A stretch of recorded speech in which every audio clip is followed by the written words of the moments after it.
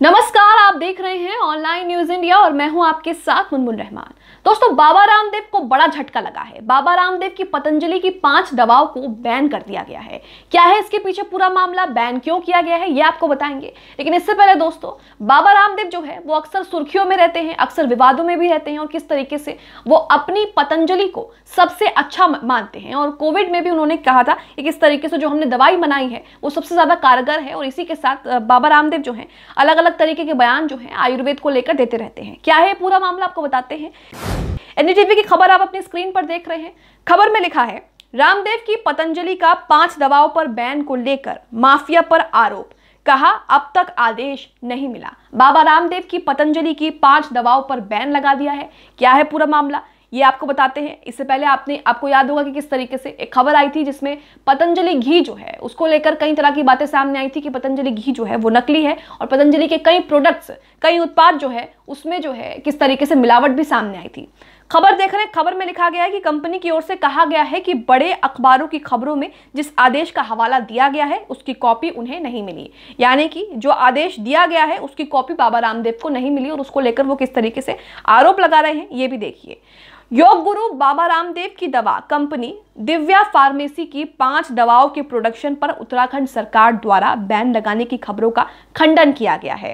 Patanjali group की pharma company ने इन खबरों को लेकर एक आयुर्वेद विरोधी ड्रग माफिया पर साजिश करने का आरोप लगाया है। रिपोर्ट्स में बताया गया है कि उत्तराखंड सरकार ने भ्रामक विज्ञापनों का हवाला देते हुए दिव्या फार्मेसी की पाँच दवाओं के प्रोडक्शन पर बैन लगा दिया है। यानी कि बैन लगाने की खबरों को जो है बाबा रामदेव नकार रहे हैं, सिरे से खारिज कर रहे हैं और कह रहे हैं कि इस पूरे मामले में साजिश की जा रही है और साजिश जो है वो आयुर्वेदी विरोधी ड्रग माफिया साजिश कर रहा है। इसी के साथ खबर में आगे लिखा है कंपनी की ओर से कहा गया है कि बड़े अखबारों की खबरों में जिस आदेश का हवाला दिया गया है उसकी कॉपी उन्हें नहीं मिली साथ ही कहा कि लेकिन आयुर्वेदी विरोधी ड्रग माफिया की संलिप्तता साफ़ है। यानी कि बाबा रामदेव जो हैं किस तरीके से इस आ, इन आरोपों को खारिज कर रहे हैं और कह रहे हैं कि जिन आदेशों को न्यूज़पेपर्स में दिखाया जा रहा है कि पाँच दवाओं को बैन कर दिया गया है उनकी कॉपी उन्हें नहीं मिली। कंपनी ने एक बयान में कहा पतंजलि के सभी प्रोडक्ट्स और दवाओं को बनाने में वैधानिक प्रक्रियाओं और अंतर्राष्ट्रीय मानकों को पूरा करते हुए निर्धारित मानकों का पालन किया जाता है। इसके लिए बड़े स्तर की रिसर्च और क्वालिटी का पूरा ध्यान रखा जाता है। इसके लिए 500 से ज़्यादा वैज्ञानिकों की मदद ली जाती है। हालाँकि आपने आ, देखा होगा कि पिछले दिनों जो है पतंजलि के कई प्रोडक्ट्स में मिलावट सामने आ रही थी और किस तरीके से पतंजलि के जो कई प्रोडक्ट्स थे एक्सपर्ट्स का कहना था मेडिकल हेल्थ एक्सपर्ट का कहना था कि ये जो प्रोडक्ट्स पतंजलि के हैं कुछ प्रोडक्ट्स ऐसे थे आ, जो लोगों के हेल्थ के लिए हानिकारक बताए जा रहे थे। और यहाँ पर कंपनी कह रही है कि जो प्रोडक्ट्स हम लोग बनाते हैं, उसकी वैधानिक प्रक्रियाओं और अंतर्राष्ट्रीय मानकों को पूरा करती है और किस तरीके से उसकी जाँच जो है, वो 500 से ज़्यादा वैज्ञानिक करते हैं। साथ ही कहा गया है कि आयुर्वेद और यूनानी सर्विसेज़ उत्तराखंड द्वारा प्रायोजित तरीके से 9 ग्यारह 2022 को जो खत साजिश के तहत लिखा और मीडिया में सर्कुलेट किया गया है, वो अभी तक किसी भी रूप में पतंजलि संस्था को नहीं मिला है।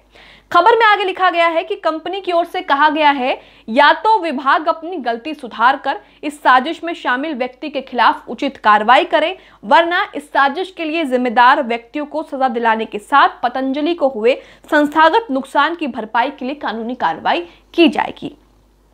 खबर में आगे लिखा है, कुछ अखबारों की रिपोर्ट्स में गुरुवार को कहा गया था कि उत्तराखंड सरकार ने पतंजलि आयुर्वेद को उन पाँच प्रोडक्ट्स के प्रोडक्शन को बंद करने के लिए कहा है, जिन्हें कंपनी ने ब्लड प्रेशर मधुमेह, घेंगा ग्लूकोमा और उच्च कोलेस्ट्रॉल के इलाज की दवा के रूप में प्रचारित किया जा रहा है। इन पाँच दवाओं पर जो है, उत्तराखंड सरकार ने ऐसी खबरें छपी कि पाँच दवाओं को, पतंजलि की पाँच दवाएँ, उत्तराखंड सरकार ने इन पर बैन लगा दिया है, जिसमें ब्लड प्रेशर की दवा है मधुमेह यानी कि शुगर की, और घेंगा ग्लूकोमा और उच्च कोलेस्ट्रॉल के इलाज के लिए जो दवाएँ प्रचार प्रसार की गई है पतंजलि की ओर से, उन पर जो है, बैन लगाने के लिए उत्तराखंड सरकार ने कहा गया। हालाँकि इस खबर का, बाबा रामदेव की जो कंपनी है, वो इस खबर का खंडन कर रही है और कह रही है कि हमें इस आदेश की कॉपी मिली ही नहीं है।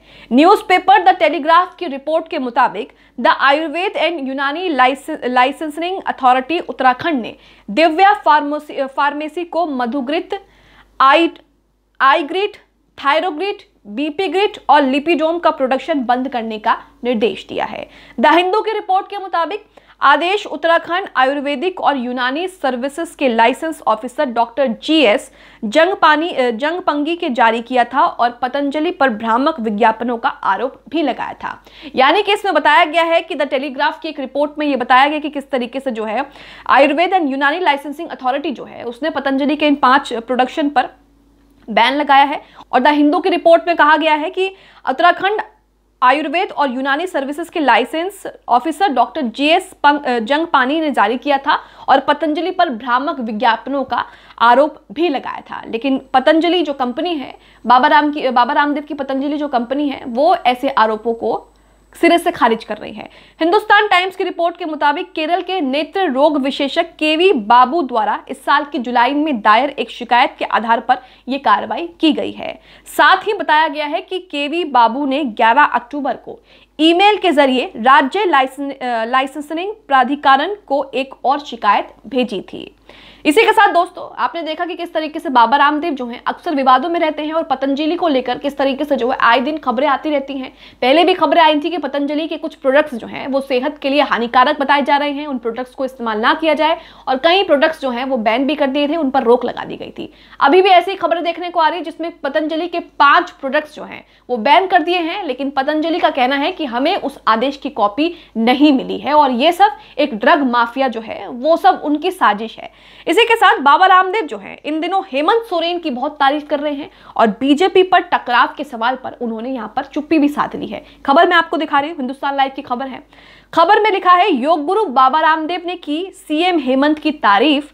बीजेपी से टकराव के सवाल पर साधी चुप्पी। यानी कि झारखंड में जिस तरह का सियासी घमासान चल रहा है, ईडी की कार्रवाई जो केंद्रीय जाँच एजेंसी कार्रवाई कर रही है, मुख्यमंत्री के खिलाफ और उनके तमाम जो नेतागण हैं विधायक हैं उनके खिलाफ उसको लेकर भी बाबा रामदेव ने प्रति, अपनी प्रतिक्रिया दी है और किस तरीके से जो है उन्होंने मुख्यमंत्री हेमंत सोरेन की तारीफ़ की है। झारखंड की राजधानी रांची पहुँचे योग गुरु बाबा रामदेव ने मुख्यमंत्री हेमंत सोरेन की तारीफ़ की। बाबा रामदेव ने कहा कि सीएम हेमंत सोरेन अच्छा काम कर रहे हैं। हालाँकि राज्य के ताज़ा सियासी हालात पर कुछ भी कहने के उन्होंने कुछ भी कहने से उन्होंने इनकार कर दिया। रांची एयरपोर्ट पर जब पत्रकारों ने बाबा रामदेव से सवाल पूछा कि क्या बीजेपी राज्य सरकार को परेशान कर रही है, तब योग गुरु ने कहा कि यह राजनीतिक विषय है। गौरतलब है कि बाबा रामदेव को बीजेपी की तरफ़ झुकाव रखने वाले शख्स के तौर पर जाना जाता है और अब उसी से टकराव की खबरें जो है आ रही हैं, जिस पर बाबा रामदेव ने चुप्पी साध ली है। फ़िलहाल रामदेव के, रामदेव रामदेव की कंपनी पतंजलि के पाँच प्रोडक्ट्स पर बैन लगाने की जो खबर है, आप उस पर क्या सोचते हैं? हमें कमेंट बॉक्स में ज़रूर बताएँ। इसके साथ ही चैनल को सब्सक्राइब कर लें बेल आइकॉन को ज़रूर प्रेस कर लें, ताकि जैसी कोई खबर, कोई वीडियो हम डालें, उसका नोटिफिकेशन आप तक सीधा पहुँच सके। इस खबर को अभी लाइक करें शेयर करें।